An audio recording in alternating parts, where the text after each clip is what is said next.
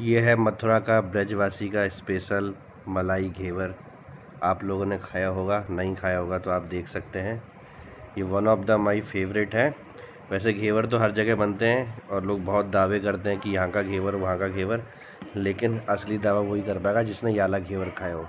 ये special purpose पे बनता है और ये केवल सावन में ही बनता है। और केवल आपको ब्रजवासी का ही लेना है। एक बार अगर आप इसको खा लोगे तो आप उत्तर प्रदेश के या पूरे भारत के किसी भी घेवर को जो है कंपैरिजन कर सकते हो और फिर न्यूट्रल वे में बता सकते हो कि सबसे अच्छा घेवर कौन सा होता है।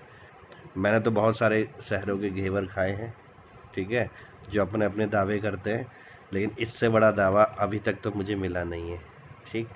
तो देखिए घेवर और अपने कमेंट बॉक्स में बताइए कि इससे अच्छा घेवर किस सिटी में मिलता है, उसको भी मैं टेस्ट करके देखूँगा। Thank you very much